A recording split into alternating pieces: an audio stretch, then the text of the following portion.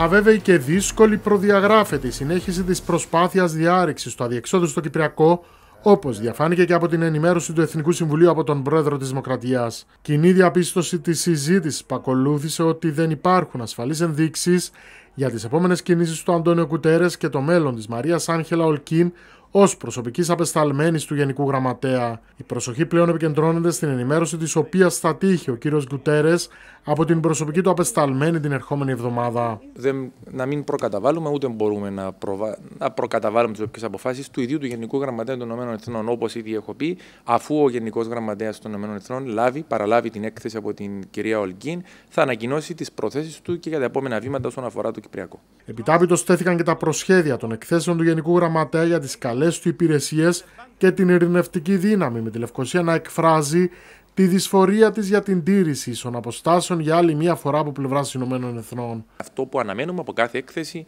είναι αντικειμενικότητα. Είναι με αντικειμενικότητα να καταγράφονται, επαναλαμβάνω, και τα γεγονότα και τα δεδομένα. Την ίδια στιγμή ε, είναι δεδομένο ότι η κυρία Ολγκίν, ως προσωπική απεσταλμένη του Γενικού Γραμματέα, οι όροι εντολής της απορρέουν από τον Γενικό Γραμματέα των Ηνωμένων Εθνών, του οποίου οι όροι εντολής του απορρέουν από το Συμβούλιο Ασφαλείας των Ηνωμένων Εθνών. Ο πρόεδρος της Δημοκρατίας ενημέρωσε επίσης τα μέλη του σώματος για τις υποθέσεις φετερισμού ελληνοκυπριακών περιουσιών στα κατεχόμενα, ενώ συζήτηση έγινε και για τις εξελίξεις στην Μέση Ανατολή.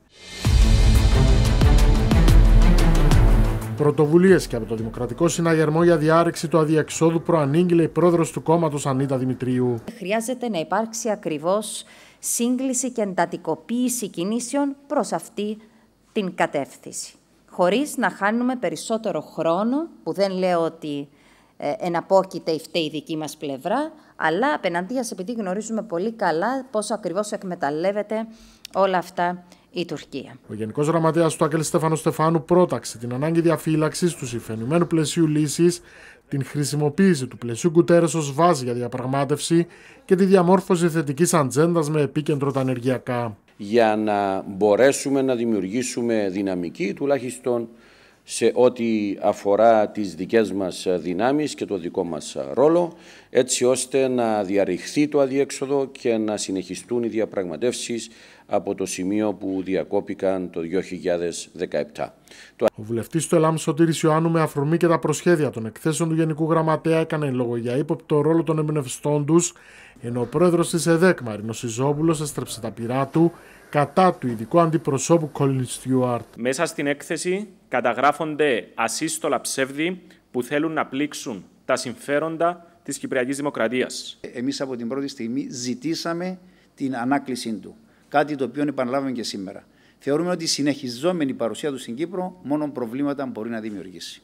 Ο πρόεδρος της ΔΥΠΑ, Μάριος Καρογιάν, μίλησε για δύσκολη συγκυρία στο Κυπριακό και ο εκπρόσωπο των οικολόγων Κυριάκο Τσιμίλης στην ανάγκη διατήρησης της προσδοκίας για λύση. Θα είναι μια δυσάρεστη εξέλιξη να τερματιστεί η προσπάθεια και η αποστολή της κυρίας Ολκίν σε ό,τι αφορά το Κυπριακό. Προσδοκία μιας παράτασης της αποστολής της κυρίας Ολκίν δεν σημαίνει κατά ανάγκη και μια αισιόδοξη προοπτική αν δεν αλλάξουν κάποιες βασικές παράμετροι. Όμως αυτή τη στιγμή είναι αναγκαίο ώστε να έχουμε μια συνέχεια. Ενώ στην αντίπερα όχθη ο Ερσιντατάρ συναντήθηκε με τον πρόεδρο του Αζερπαϊτζάν Ιλχάμ Αλιεφ στην πόλη Σούσα του Νακόρνο Καραμπάχ όπου φιλοξενούνται οι εργασίες του Οργανισμού Τουρκικών Κρατών. Το ψευδοκράτος έχει καθεστώς παρατηρητή στον οργανισμό. Σημειώνεται ότι ο κατοχικός ηγέτης έτυχε υποδοχής αρχηγού κράτους, ενώ η σημαία του ψευδοκράτους κοιμάτιζε μεταξύ των χωρών μελών του οργανισμού.